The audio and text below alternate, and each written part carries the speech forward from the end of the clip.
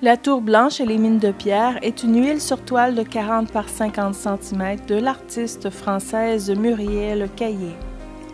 Cette œuvre fait partie d'une série de toiles qui ont été exposées à la Bourse du commerce de Paris pour le salon Made in France, un salon de la haute façon française qui présente du prêt-à-porter traditionnel de luxe. La tour blanche et les mines de pierre a donc été fait dans un esprit thématique. On y retrouve d'ailleurs des éléments qui rappellent des carrés brodés, finement pailletés, prêts à être assemblés.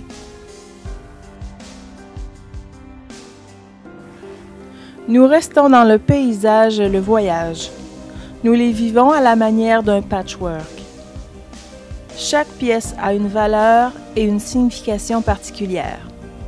Depuis l'Antiquité à aujourd'hui, le vêtement a toujours été un symbole de la condition humaine, il suffit de penser aux uniformes qui informent de la profession ou de la fonction, ou encore du vêtement ou pièce de tissu qui annonce l'appartenance à une religion particulière. Le vêtement est symbole. Voici donc une marine avec un esprit côtier, des rochers, la mer, des aventures imaginaires.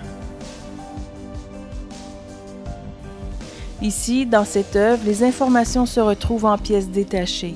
Elles sont fragmentées comme les chapitres d'un roman.